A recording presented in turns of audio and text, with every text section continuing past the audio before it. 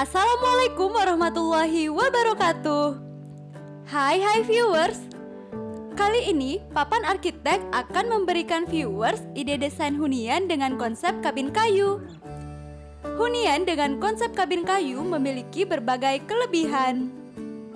Suhu udara di dalamnya akan tetap sejuk meski cuaca di luar sedang panas. Apa pun perabotan yang digunakan, hunian ini tetap menarik secara visual viewers. Kayu memiliki kekhasan tersendiri dan keunikan yang tidak dimiliki oleh material lainnya. Aksen kayu tersebut dapat menjadi kunci kekuatan material, baik dipadukan dengan furnitur konvensional ataupun modern lainnya. Tidak hanya ramah lingkungan, Material kayu juga dapat menyesuaikan dengan kondisi lingkungan. Kayu bukan merupakan penghantar panas yang baik, sehingga tidak akan membuat suasana dalam ruangan menjadi pengap dan panas. Seperti apa ya ide desain hunian dengan konsep kabin kayu kali ini?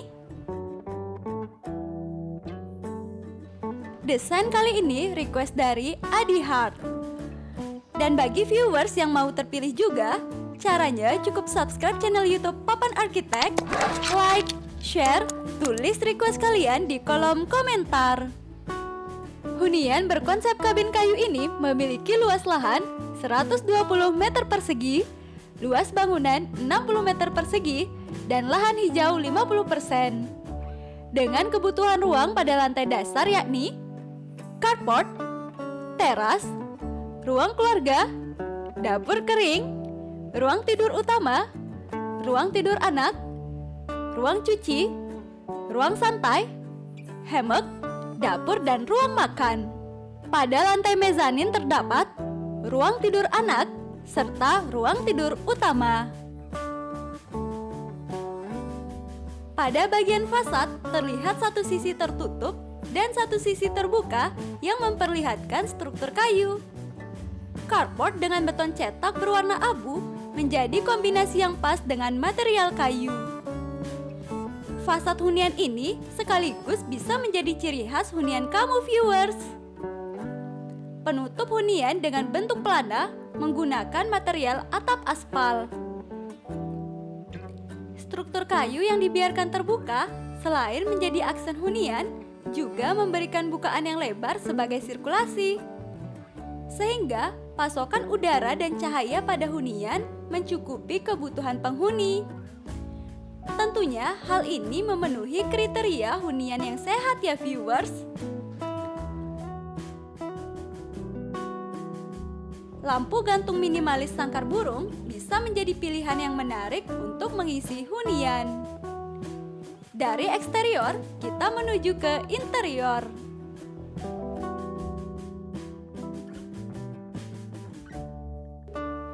Agar hunian mungil tetap terlihat lapang dan bersih, pada ruang keluarga, letakkan sofa merapat pada dinding agar tidak ada penghamburan ruang. Jangan tempatkan sofa atau kursi terlalu banyak dan terletak terpisah-pisah. Letakkan berdempetan dan memanjang untuk efisiensi ruang ya viewers.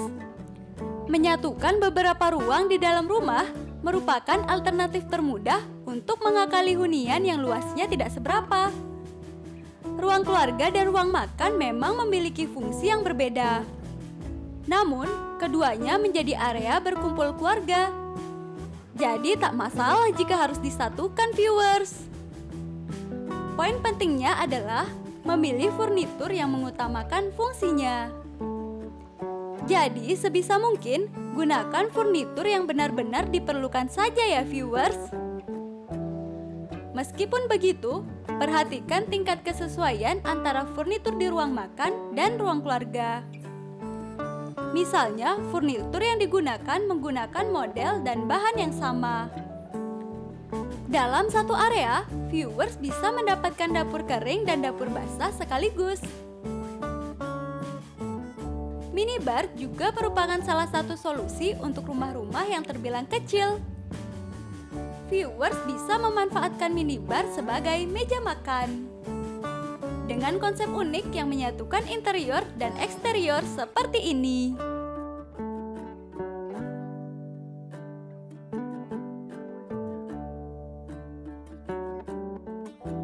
Selanjutnya, kamar mandi dengan pintu geser diletakkan di sebelah ruang makan. Dominasi warna putih memang sangat mendukung konsep kamar mandi minimalis. Tidak peduli luas atau sempit, mewah atau sederhana, yang dipastikan pada kamar mandi adalah fungsinya yang dapat dimaksimalkan.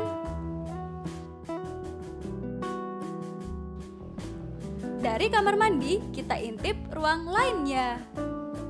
Hunian kabin kayu ini memisahkan setiap area seperti konsep pada penginapan viewers. Untuk menuju ke area pribadi, kita harus melalui teras. Teras merupakan tempat untuk bersantai. Jadi tak ada salahnya jika viewers menambahkan hamak. Pengaruh hamak untuk beristirahat sangat efektif. Menghadirkan hamak di teras rumah juga baik untuk viewers yang hobi membaca atau sekedar mencari inspirasi.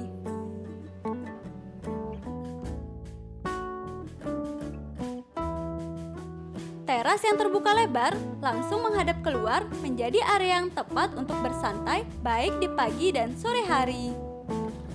Kursi teras kayu ini cocok diaplikasikan pada teras minimalis yang mengusung tema serba kayu. Mulai dari partisi hingga perabotannya akan menjadikan rumah tampak semakin cantik natural. Kita masuk ke ruang tidur utama. Ruang tidur pada desain hunian kali ini mengusung konsep mezanin viewers. Jadi, pada bagian bawah dihususkan sebagai ruang kerja. Dengan menghadap bukaan yang besar untuk meminimalisir kejemuan saat bekerja.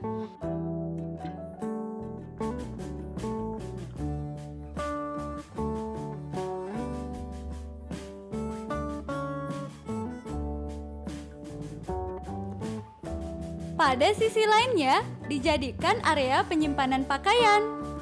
Dengan kabinet minimalis menyesuaikan ukuran ruang ya viewers. Dengan begini, ruang tidak akan terlihat sempit. Juga tentunya memberikan kesan rapi. Tempat tidur pada bagian mezanin dengan tangga yang menempel ke dinding. Menghususkan area tempat tidur seperti ini akan membuat kualitas tidurmu lebih meningkat viewers. Kualitas tidur yang baik tentunya akan menunjang aktivitas sehari-hari kamu viewers.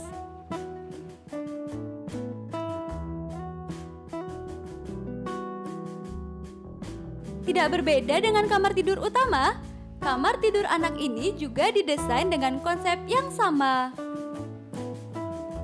Pada bagian bawah terdapat area bekerja serta area penyimpanan pakaian.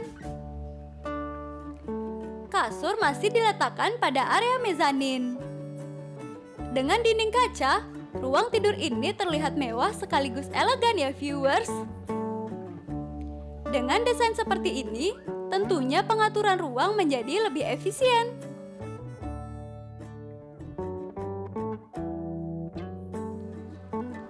Terakhir, kita menuju ke bagian belakang hunian. Pada bagian belakang ini dijadikan sebagai ruang cuci minimalis. Ruang cuci minimalis ini tentu saja tetap memberikan kenyamanan untuk aktivitas viewers.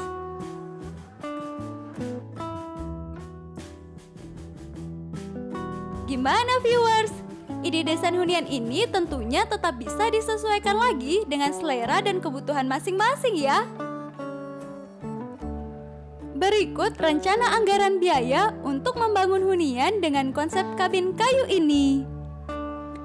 Adapun total biaya sebesar 216 juta 472.500 rupiah. Material cat putih kayu jati, dan beton ekspos diaplikasikan pada bagian eksterior. Material cat putih, lantai plester, dan panel kayu diaplikasikan pada bagian interior. Sekian dulu review desain minggu ini. Nantikan desain selanjutnya yang gak kalah keren. Jangan sampai kelewatan ya!